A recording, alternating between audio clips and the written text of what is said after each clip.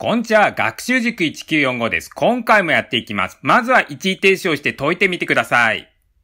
では、確認をしていきます。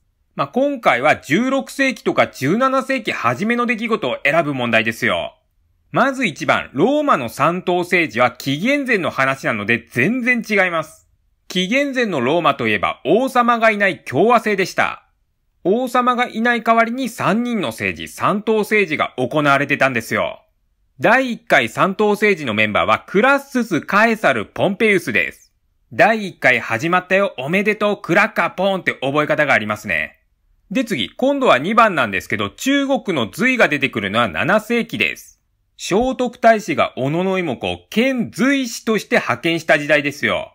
聖徳太子といえば600年頃の人物です。で次、今度は4番に行きましょう。キューバ危機ってありますけど、これは20世紀の話です。もっと言うと、第二次世界大戦が終わった後で、第三次世界大戦始まっちゃうんじゃないのっていう危機だったんですよ。こちらは別の動画で説明してますので、気になる人は動画説明欄を見てください。ということで、残った3番が正解ですね。